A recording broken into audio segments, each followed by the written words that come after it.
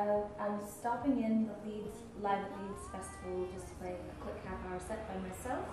Um, I'm starting a tour where I'm bringing my band around the UK. It's the second tour that we've done for this record called Hunting My Dress, which I released in the UK last November. Uh, it's it's um,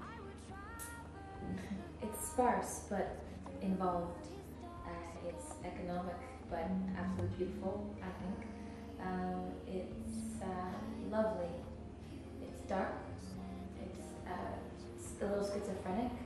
Um, it, it's personal, um, abstract, uh, fun, um, and uh, I think really well produced. Yeah, I'm writing my, my third record right now, and uh, hopefully I'll have it done not too long from now. I, I am down with